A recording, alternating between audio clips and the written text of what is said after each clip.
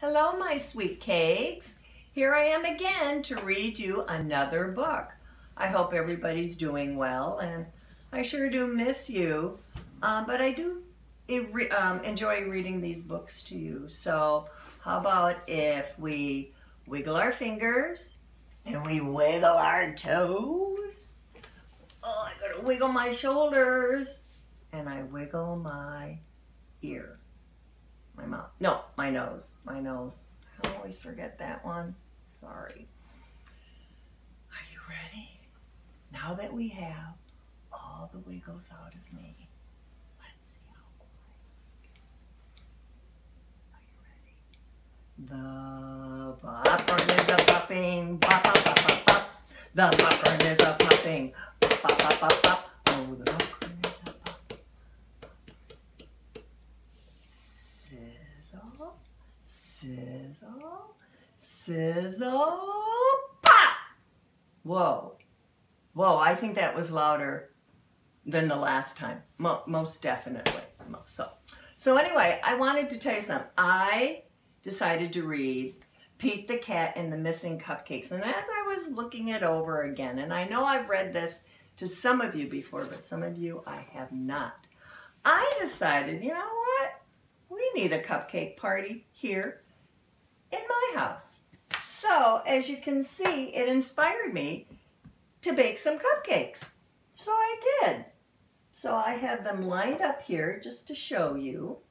And uh, so they'll be behind me and I'll read about Pete the Cat's cupcakes. Are you ready? All right, so Pete the Cat and the Missing Cupcakes by Kimberly and James Dean. Whoa, look at that. Whoa. Can you see that? Now, that's a lot of cupcakes. Ooh, boy, they, they look delicious. Ooh, I can't wait to read this again. So, oh, there's Gus and there's Pete. Pete and Gus were at as busy as they could be. They were getting ready for the cupcake party. It started at 3. Good time to have a party, you know, kind of after lunch, before dinner. Yeah, absolutely. So here they are. They're getting ready and they're baking the cupcakes. So, here we go. They were making cupcakes for everyone. Pete and Gus counted them just for fun.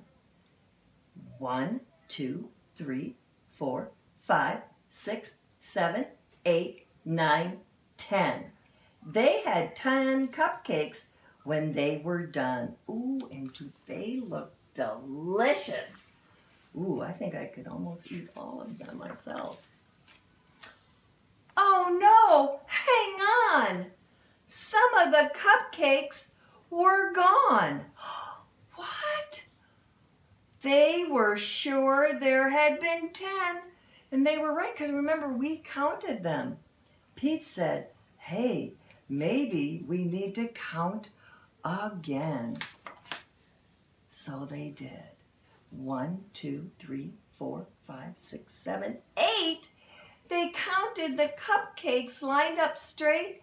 Now there were only eight. Oh no. Oh, it looked like someone had taken two. But who? Who? Pete and Gus did not know what to do. Hmm. Oh, then they just found a clue. Hmm. Something, a clue, will tell them maybe who's done this. Hmm. A clue. Look, they found cupcake holders and sprinkles. Whoa, whoever took them ate them right there. Gus said, It looks like, uh, it looks what I have found. Sprinkles on the ground. I bet it was Squirrel. She loves sprinkles. Well, who doesn't? I, I like sprinkles. Squirrel said, uh, it, it, it wasn't me. It, it, it couldn't be me. I've been at the spelling bee. Oh, so she's been spelling words all day. She couldn't have taken them. Oh no, oh no, more cupcakes are missing. Come and see, more cupcakes are gone.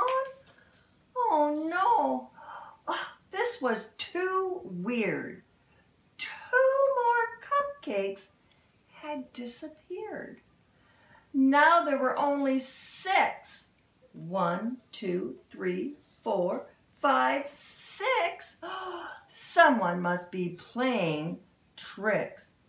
But who? Who? Pete and Gus did not know what to do. Hmm. Just then, they found another clue. Why, look, can you see? There's footprints. Footprints. Hmm. You could see right where someone had walked. Hmm. Interesting. Pete said, Hey, I bet it was Alligator. He loves to eat. Well, yeah, alligators do. Alligator said, It wasn't me. It couldn't have been me. I was learning my ABCs. Well, yeah, and that would take a long time. There's a lot of letters in those ABCs, so he couldn't have done it. Oh no! Oh no! More cupcakes are missing. Come and see, more cupcakes are missing? Oh no! Now there were only four? One, two, three, four. Oh no! Someone had taken two more. But who? But who? Hmm. Boy, alligators with them now trying to figure out who took the cupcakes. Pete and Gus did not know what to do. They, just then, they found another clue. Something else to tell them who took the cupcakes.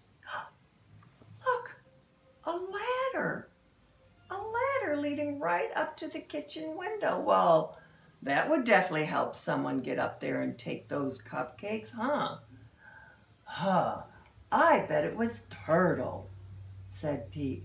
I know Turtle loves sweets. Well, who doesn't like a good sweet like a cupcake? Oh, there's Turtle. There he is. Hi, Turtle. Turtle said, uh, uh, it wasn't me. It, it, it could have been me. I've been swimming in the sea. Well, yeah, I guess it's not him. He, he was swimming all day. I guess he was at the beach. Oh no! Cupcakes are missing? Oh no! Come see, but Oh my goodness. Do you see what I see? Look. Look. Look in the window. I hope you can see. Someone's in the window. You can see them taking the cupcakes. But they don't see because they're not looking at the window. Oh no, turn around, I say, turn around. Oh no, oh no, more cupcakes are missing. Well, yeah, we saw that. Come and see.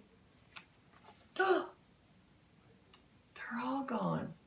All of them are gone. The ladder's there. Oh no. What on earth is going on? All the cupcakes were gone. Gone, gone. Oh no. Oh no, oh no. Hmm. Pete and Gus did not know what to do. Hmm. They started looking for another clue. And look, there's a lot of clues there. Why, there's footprints, and there are cupcake holders and sprinkles. Wow, there's a lot of clues there. And look, it's leading up near that tree. Hmm, I wonder who. They found Grumpy Toad with icing on his face. Oh yeah, he sure does. He has pink icing on his face. Pete and Gus had solved the case. Sure enough, Grumpy Toad, Ribbit, Ribbit, I'm so sorry. It was me, Ribbit. I could not stop with just one. No, it is. It's hard to eat one cupcake. I ate and I ate till there were none, Ribbit. I'm sorry. Well, does look sad. He does look like he's really sorry. Everyone agreed. Yep, they all agreed. Grumpy Toad would have to miss the fun. Couldn't come to the cupcake party. Well, there's no cupcakes left. Mm. He could not come after what he had done. Well, yeah, look, he took all the cupcakes and now his friends can't have the party and what he did really made them sad. Really made them sad. But good old Pete, Pete said, Oh, but wait, Grumpy Toad made a mistake. It's true he did. Oh, this is true. Hey, let's give him a second chance. Oh, that Pete, he's a good guy. That's what friends do. That's true, they do. Pete told Grumpy Toad they would give him another chance. Oh, he was so excited. He did a happy dance. Well, yeah, now he can come to the party. And I bet he'll never do that again. You know, you gotta kind of give your friends another chance. Yeah, that was really nice. Whoa, look at this. Wow. The, um, the night of the party was so much fun. Grumpy Toad brought more than enough cupcakes for everyone. Whoa! He definitely felt bad and he wanted to make everybody happy again. That was really nice. That was being a good friend too. So they were able to have Pete the Cat's cupcake party. Whoa, I am so glad that they found out where all the cupcakes went. And that was really nice of Grumpy Toad. He didn't make just 10, he made like 20 more cupcakes for everyone. So I feel pretty lucky because I still have my cupcake. My cupcakes! I don't have my cupcakes! Where could my cupcakes be? Oh my goodness! Where'd they go? Oh man. Oh, wait a minute. I know some people in this house that really like cupcakes. So, thank you. That was Mr. Greczylo. I can never, ever leave any cupcakes around because he will always eat them. So anyway, I think I'm going to go eat this cupcake. And I want to wish you all a happy day, and I hope you found your happy, because evidently I did. I found my happy. So have a good day, and I will be back to read another book.